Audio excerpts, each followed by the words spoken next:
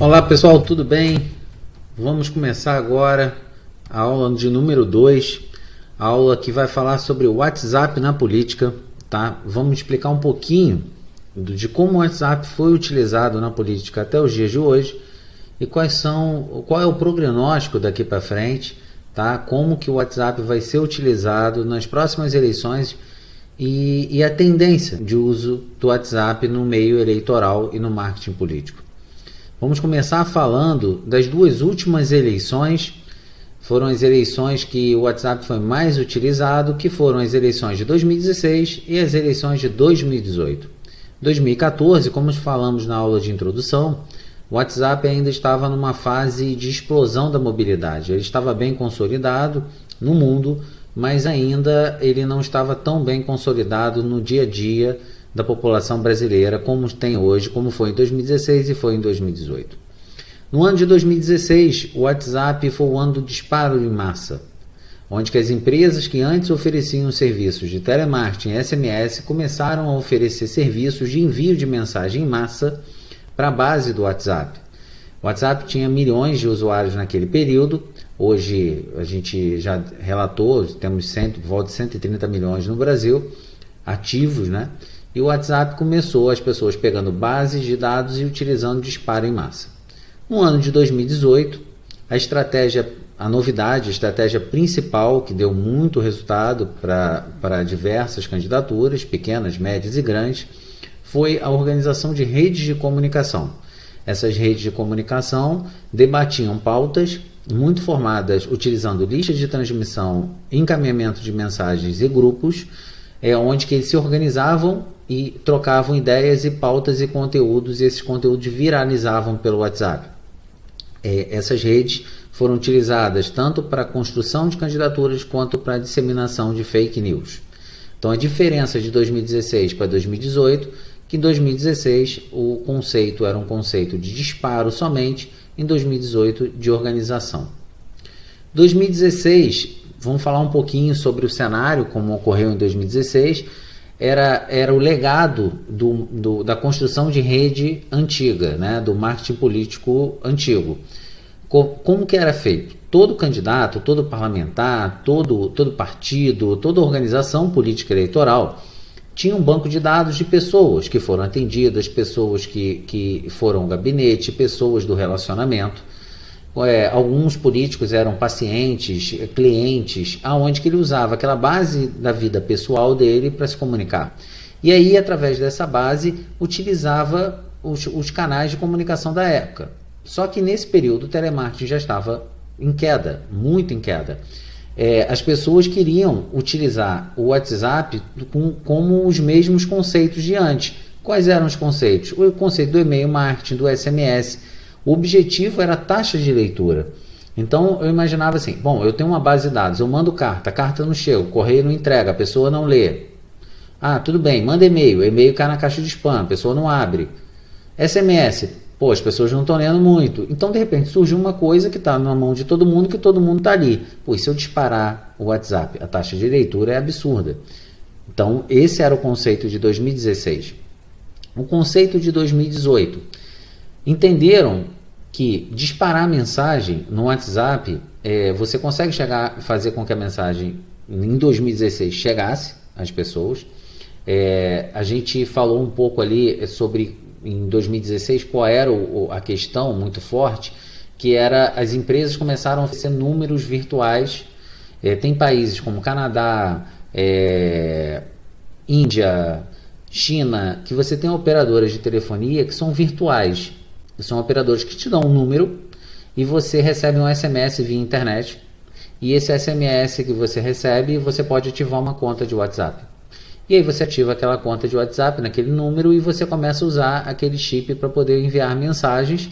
Ou então compravam, as pessoas compravam chips e botavam em nome de terceiros, em nome de pessoas, e começavam a usar aquela conta fake, vamos chamar assim, para poder enviar mensagem. Só que começamos a perceber, as pessoas começaram a perceber que quem fazia isso, é, na verdade, não estava acrescentando muita coisa, porque o WhatsApp é, acabava sendo invasivo e, e, as pessoas não identificavam quem era aquela pessoa que estava mandando aquela mensagem.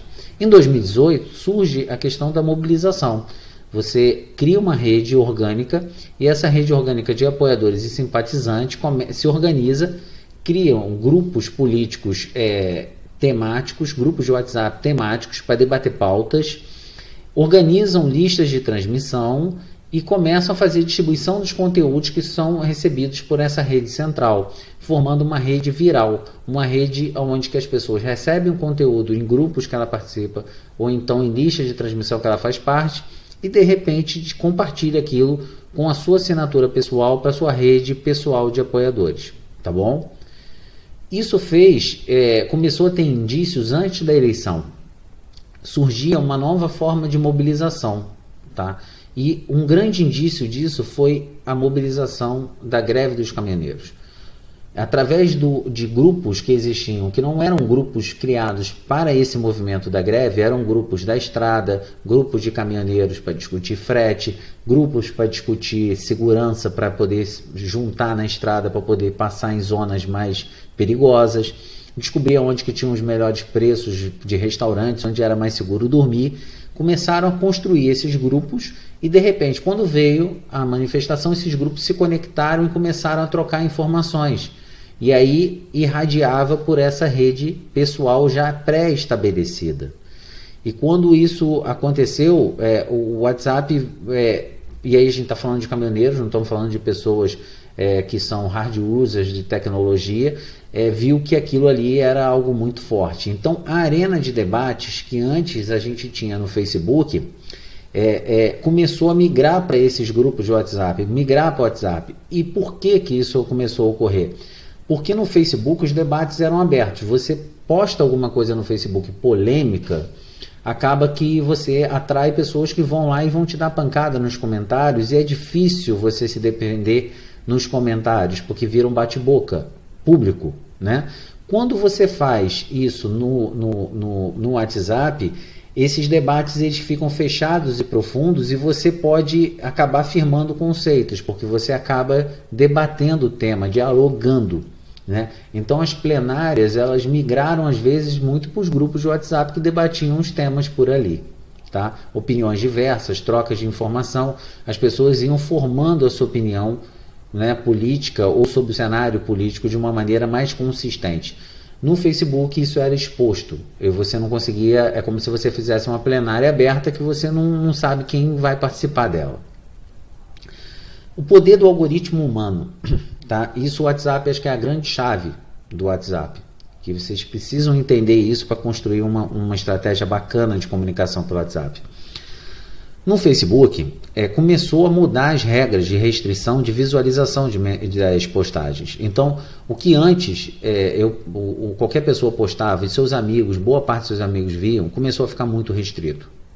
Então, o Facebook começou a direcionar quem via as suas postagens e a postagem que você via. Então, bem ou mal, ele pautava a, a forma com que você ia formar a sua opinião, seus estímulos. Então, é, isso no WhatsApp, o algoritmo é humano quem escolhe quem vai ver aquela mensagem é a pessoa. Então, você começa a direcionar é, é, é, de acordo com o tipo da mensagem a pessoa que você vai encaminhar, ou a lista de transmissão, ou o grupo que você vai escrever aquilo. Então, permite que a pessoa possa escolher e direcionar melhor os seus conteúdos. O anonimato é outro grande motivo, né? porque quando a gente fala de, de eleição, as pessoas às vezes querem falar para a sua bolha, né? a bolha que acredita nos seus conceitos, ela não quer ficar debatendo com a bolha do outro lado. Então, no WhatsApp, as pessoas escolhiam para quem falar, escolhia de acordo com o tema.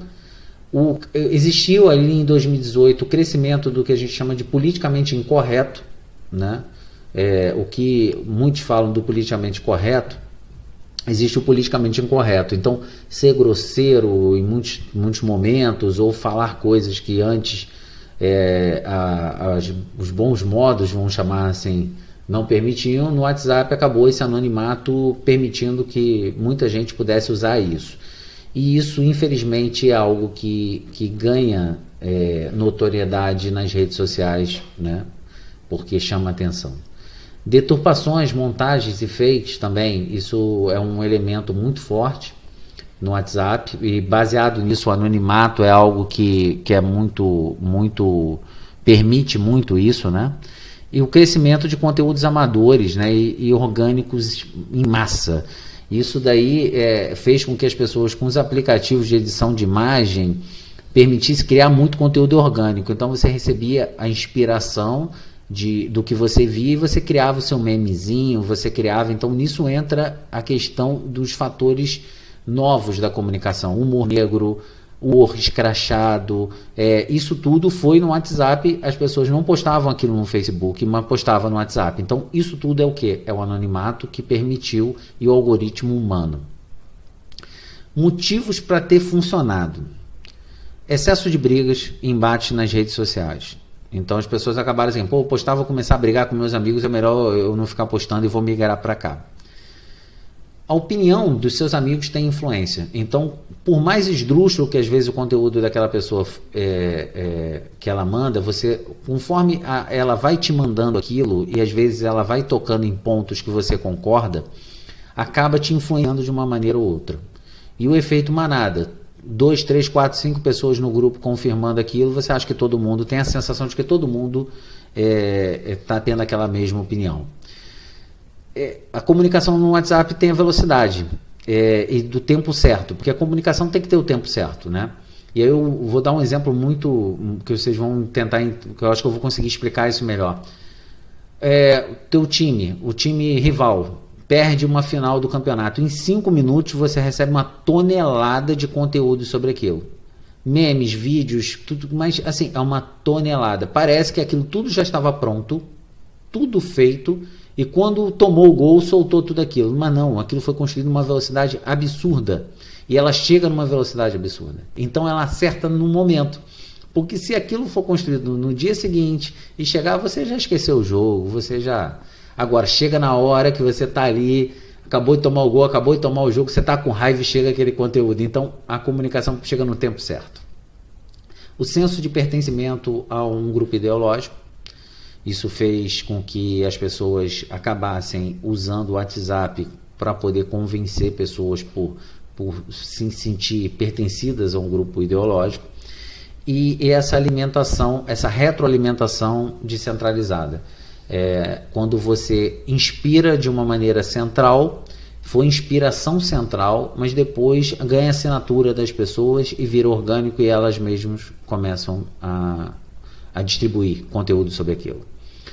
E o, em 2020, a gente acha que o WhatsApp continua nessa linha da mobilização inteligente. Tá? É, o, vamos falar um pouco mais à frente do porquê que o disparo em massa está cada vez mais restrito. O WhatsApp to, vem tomando medidas muito, muito firmes, é, so, combatendo o spam na rede. É, e, e, a perda de credibilidade desse, de, disso também faz com que as pessoas veem que não tem muito incentivo em fazer o spam. Agora, a criação de uma rede orgânica segmentada e de apoiadores e simpatizantes, isso aí está em alta, é isso que vai ser a chave do sucesso. Quem construir comunicação personalizada, segmentada, com pessoas que querem participar do movimento, vai ter, vai ter sucesso. A distribuição de conteúdos para formação de discurso e preparação de apoiadores na rede. É, o, o, ideal é que use o canal e é, as redes para formar discurso dos seus apoiadores, para que eles, da maneira deles, possam defender nas redes e no WhatsApp, nos grupos que eles pertençam, de acordo com, com, com a formação do discurso central. Então você inspira as pessoas, você forma, você explica para que as pessoas, do jeito dela, delas, possam te defender, defender a sua candidatura ou o seu projeto.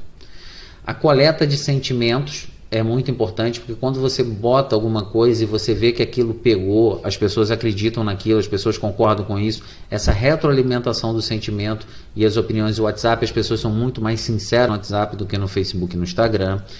E uma rede de defesa orgânica, porque a comunicação, o ataque, ele tem que ser defendido no tempo certo, senão ele acaba viralizando e acaba perdendo o controle.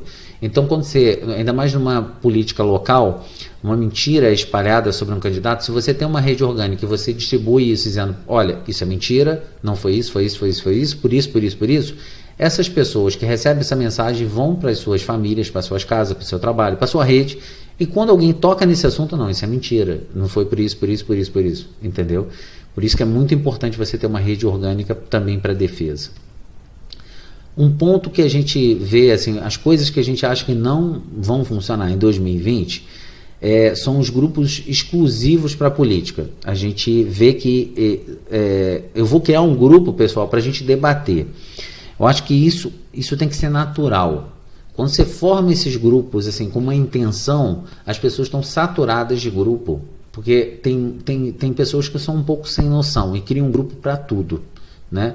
E é, vou fazer uma festa, quero convidar meus amigos. Ao invés de fazer uma lista de transmissão, crio um grupo. Vou fazer alguma coisa e eu quero criar um grupo. E as pessoas acabam ficando sem graça de sair do grupo. Então, grupo somente se for realmente muito importante e se as pessoas quiserem participar.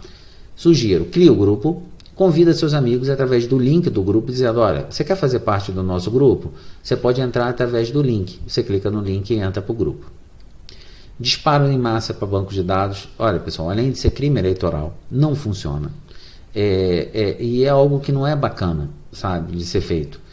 Tenta contactar essas pessoas por outros canais de comunicação para que elas entrem em contato, mandem uma mensagem para você.